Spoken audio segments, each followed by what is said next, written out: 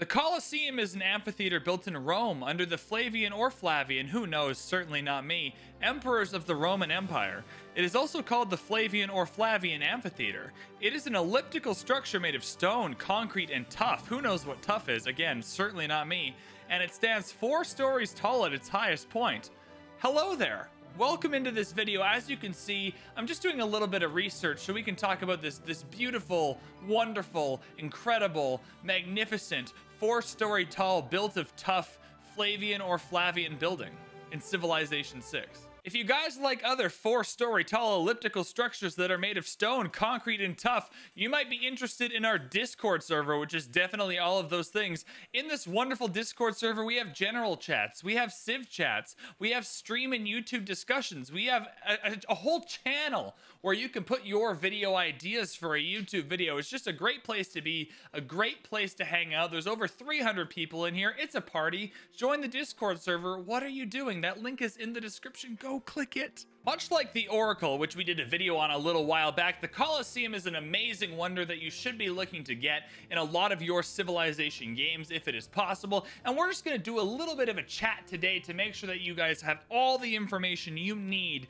to make the best use of this wonder in your Civilization 6 games. Like all wonders, we need to start in the tech or civic tree, wherever you unlock this thing, to talk about whether it's worth it, what the opportunity cost is, etc, etc, etc. I'm sure it's all just very scintillating stuff I could have kept talking about. In the civics tree, you can find the Colosseum here at Games and Recreation. This is not a bad place for this wonder to be. Obviously, in the civics tree, you are mostly always beelining towards political philosophy, but you will need as many district options as possible and this comes in a good spot. Once you get here, maybe you want political philosophy first, maybe you want drama and poetry first, right, to get your theater squares down. If you have an early wonder, maybe you grab a Toa or an Oracle, and you have a good early theater square that you're looking to get right away.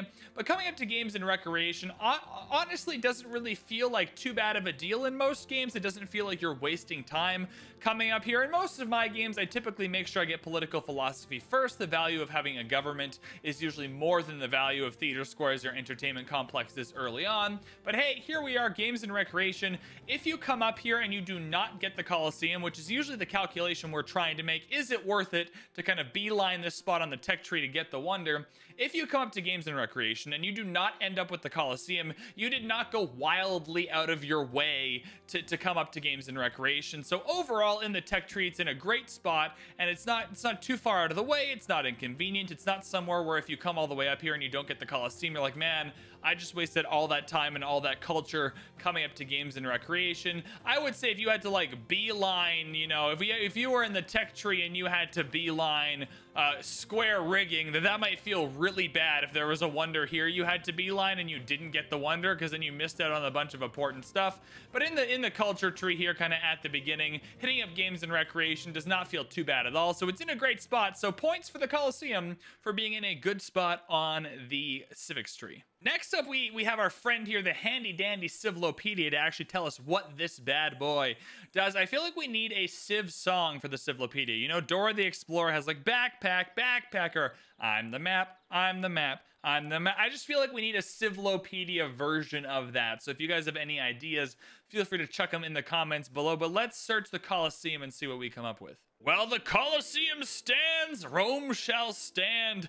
When the Colosseum falls, Rome shall fall. When Rome falls, the world shall fall. That sounds dreadful and prophetic and dreadful and prophetic. Okay, so what does this thing actually do? Why should we build it? Why should we care? The Colosseum provides two of the following, culture and loyalty per turn, which is awesome, and amenities to each city center within six tiles. So this means, much like the Petra, the Petra can be anywhere from really bad to really good, depending on how many tiles you have that it, it affects it. The Colosseum can be anywhere from like, eh, pretty decent to just hands down amazing, incredible, one of the best wonders in the game, depending on how many cities are within six tiles of the Colosseum. So placement matters a lot with the Colosseum. So we're going to make sure we look for good places to build this thing. The bottom bit of this description might be really easy to sweep under the rug and not really care about, but it is important. Must be built on flat land and adjacent to an entertainment complex with an arena. So there's lots of infrastructure here. So let's talk about the flatland part first. The flatland part, pretty easy. You're going to have a lot of flatland in your game that's not a huge deal. Next to the entertainment complex with an arena part is a little bit more complicated. Entertainment complexes, we're doing a video on those shortly, but entertainment complexes work best if they're near theater squares and whatnot. So you have more to keep in mind than just flatland tiles when you're building your entertainment complexes. Obviously, in this game, we got the best of all worlds. We have an entertainment complex in between two theater squares, and we still have a flatland tile to build your Coliseum. But with this info infrastructure requirement, it can be a bit cumbersome, right? If you're building your entertainment complexes for the Coliseum, but that means they're not hitting a lot of theater squares, that's not ideal. If you're bu building your entertainment complexes for the theater squares, but you don't have a flatland tile, that might mean you might miss out on the Coliseum. So there's a level of planning here that can be a little bit annoying, but just something you should keep in mind when you're building the Coliseum, because we like to talk about these build requirements, whether they're easy, whether they're hard. Something like the Oracle just needs to be built on any hill, amazing. Something like the Coliseum is in the middle there's an infrastructure requirement. We need a district with a building in it, which is a lot of work.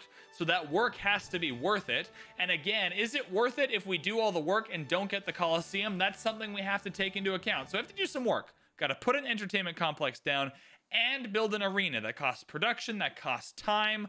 So there's effort there. Also, we want the entertainment complex we put down, since we're putting it down early in the game, to be as good as possible. So ideally, it's going in a space that has a, a bunch of cities nearby, but also that has a couple of spots for theater squares. So this this entertainment complex complex placement is kind of the best of all worlds. But I'm gonna say this is like not the easiest requirement ever, but not too difficult. Certainly nothing that makes it not worth building. It's just good to know that if you're going to put this early entertainment complex down to try for the Coliseum, you should be prepared to not get the Coliseum just in case. So make sure your entertainment complex has at least a couple of spaces for some theater squares, maybe a couple of cities nearby. So if you do build that stadium, you still get that amenity bonus. Um, but yeah, the, the infrastructure is a little bit annoying here, but nothing so terrible that we're not going to try and build the Coliseum when we can. Quick side note to say that out of all the things Firaxis could have put in an entertainment complex, they went with soccer and jousting.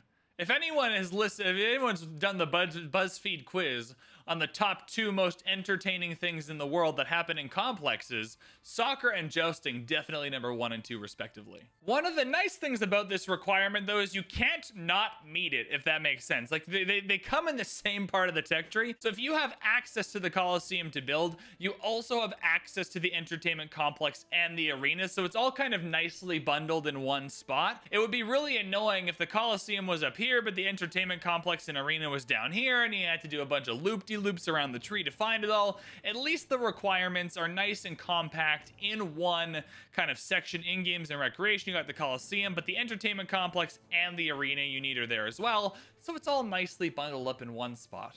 Now, throughout the last couple of months, just during the Frontier Pass, amenities, how amenities work, what amenities do in general, have been buffed a little bit to make them more important in your game. Since the Coliseum, the main thing it functions as is a way to provide multiple amenities to multiple cities, right? If amenities get better, Coliseum gets better with it. As you can see in this game here, in the time of your life, we have 14 amenities out of 9. We're ecstatic. We have plus 20% growth, plus 20% yields. A lot of this is from the Coliseum. We are getting 11 amenities from entertainment right now, which is absolutely incredible. So if done correctly, the Coliseum can absolutely really help you boost through this game. Getting 20% of 299 gold, 20% of 130 culture, 20% of 97 production. These are not insignificant numbers. I'm now thinking that the 20% might actually be part of this number, and it is. Anyways, getting 20% of whatever number was there to get to 130 or to get to 97 or to get to 299 is still really important. So effective use of the Coliseum here can really buff up your yields during the game and can, and can give you that little bit of an edge as you approach trying to win your games a little earlier, trying to beat the AI on higher difficulties. So proper use, very important, but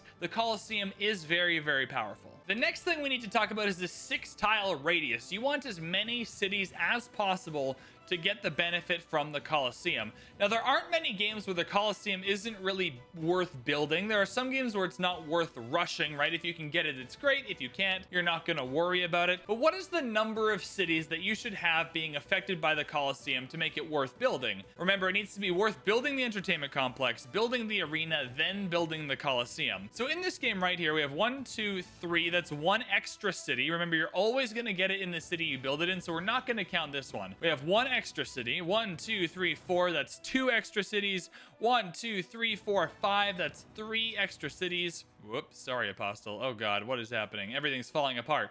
One, two, three, four, five, six. That's four extra cities. So right now our Coliseum is hitting four extra cities, giving us a total of, uh, we're always going to get the two amenities, but it is giving us a total of two, four, six, eight, ten amenities, which is absolutely incredible. It's also giving us an extra eight culture with these four cities, which can be very, very helpful early on. At the point in the game where you build the Coliseum, eight culture is like half your culture or a third of your culture. So getting an extra eight culture here is absolutely massive. Also, having loyalty in these cities, right? If you go up and down Golden Ages through Dark Ages, right? Having like four extra cities, so five in total, but four extra cities, getting that plus two loyalty can be really, really nice. It makes it so almost all of these cities with a governor and with a unit in, if we were to hit a Dark Age at some point and there was another Civ maybe close by, it might give us that extra edge in not losing our cities, which can be the difference between having a really fun time and a really good game of Civ or a really bad time and a really terrible game of Civ. So overall, I would say this.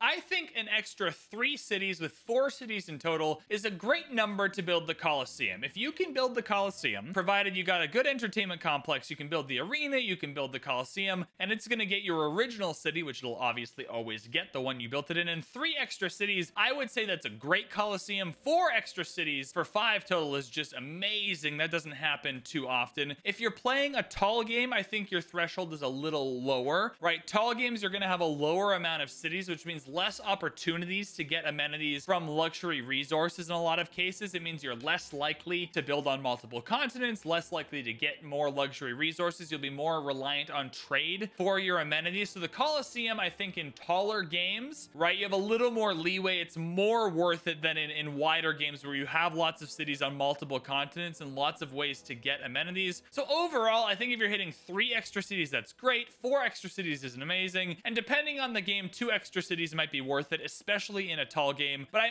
am going to say if your Coliseum is only going to hit the main city you build it in and one other city, then it's probably not worth building. Although keeping in mind that advice isn't always true, like any advice with Civ, it's a complicated game. There are lots of situations. If you have one city that's just an absolute powerhouse, right? If you were to build a Coliseum in the greatest civilization, and that was the difference between being happy and ecstatic, and you could get that extra 20% bonus to 374 gold to 130 science, maybe that would be worth building there as that would add up throughout the whole game. But I'd say VB's general guidelines is going to be two extra cities, three total if you're playing a tall game, three extra cities, four total for just your average ordinary game of Civ to build a really good Coliseum. And then if you can get four extra cities, five total, that is just holy you've just built an amazing Coliseum. Just incredible. Well, keeping in mind there are the niche situations where it might be worth building anyways. The Coliseum is a pretty simple wonder, and I think that's most of what I have to say on the topic. I think the main things to keep in mind, we just talked about the number of cities. That's a huge thing to keep in mind with regard to placement. I think the biggest thing to think about is making sure that this entertainment complex is going to function whether or not you can get the Coliseum. There's always the chance that the Coliseum gets taken away the higher your difficulty goes, the less chance you are going to have to build it. I have noticed that since the Etemenanki has been put in the game, the AI loves to rush the Etemenanki, and because the AI has one more thing to rush early on that they do like to rush, I find the Colosseum to have been more available recently, but just keep in mind, higher difficulties, you're going to be able to get this wonder less and less as you go up the difficulties, and getting an early entertainment complex can be really, really tragic if you don't get the Colosseum. If you get an entertainment complex that doesn't have a, a function otherwise, whether that's theater squares or something else, the problems you run into are you ha- you only have so much population. In your early cities, you might have four population enough for two districts, and you you get a lot of districts early on. You got campuses and holy sites and encampments and commercial hubs, theater squares. You got all this stuff going on. Government plazas.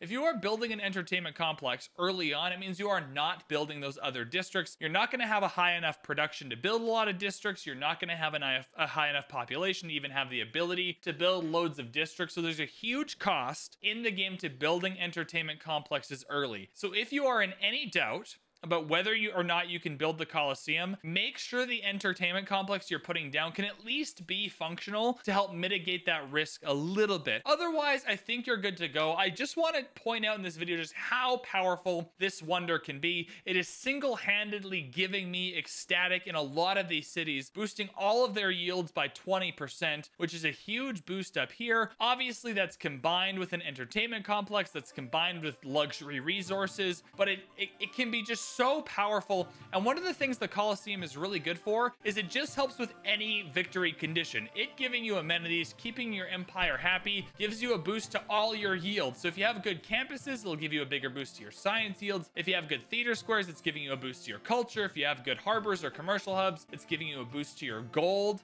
right? So what's great about the the Coliseum, much like the Oracle, is it's pretty customizable. It's just going to give you a benefit to whatever you're already doing, and whatever you're already doing is presumably good for your victory condition, which is great. So the Oracle and the Coliseum are very similar. I think the opportunity cost of the Coliseum is lower, so I don't rate it in that S tier. I'm going to rate it in the A, B plus A-ish tier for most games, whereas I think Oracle is S tier, just because there's no really build requirements other than hills. I think there's a huge cost here for the entertainment complex if you don't get it. Otherwise, though, you should build this in a lot of your games when you can. I think it's great. I think it really, really helps out with amenities, which have been more important recently in Civ. And, and, you know what? That's a change of opinion for me. Amenities weren't something I always appreciated throughout the Frontier Pass. They've made some changes to them, which have made them a little bit better and, and something you should take a little more seriously, thus making the Coliseum better as well. In any case, if you have any further questions about the Coliseum or you think I missed something, feel free to let me know in the comments. Hit that like button, hit that subscribe button, say thank you to Anvars in the comments as well for editing the video. Make sure you check the description for the Twitch link and the Discord link, both fun places to hang out and just say hello. Otherwise, just thank you so much for watching. Have fun building the Coliseum in your Civ 6 games, and we will see you in the next one.